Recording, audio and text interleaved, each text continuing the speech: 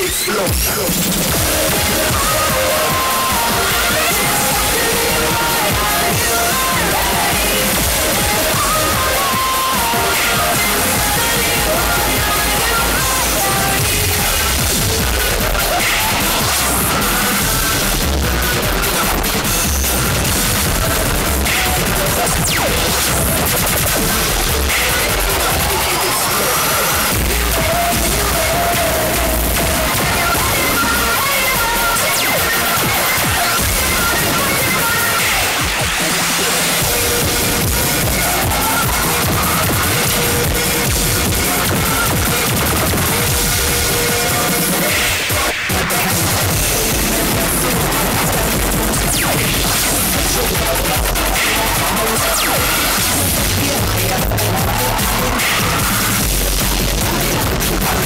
Fire!